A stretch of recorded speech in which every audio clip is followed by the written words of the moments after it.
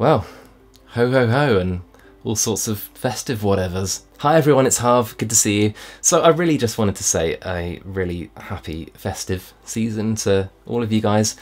I, am not a religious person myself, so I'm not going to be saying happy Karimbo or whatever. Um, but, you know, it's still a holiday and uh, it's still a time to be thankful. It's been a pretty awful year for obvious reasons for so many people.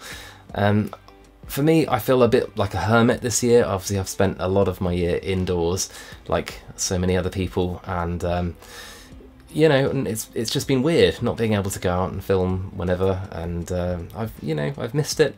But you know, there's been some good things too. Just to bring it back to the positive now, I'm really thankful for quite a, quite a few things this year.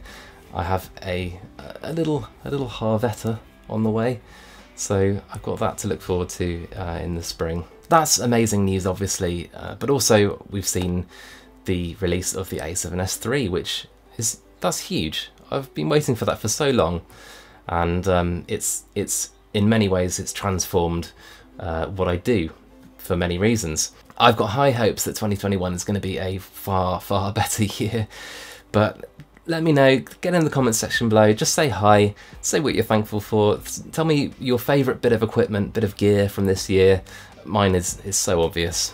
It's the A7S III. Otherwise, I hope you're happy and you have a really nice, relaxing sort of holiday period. And uh, see you soon. Loads more to come. You be good.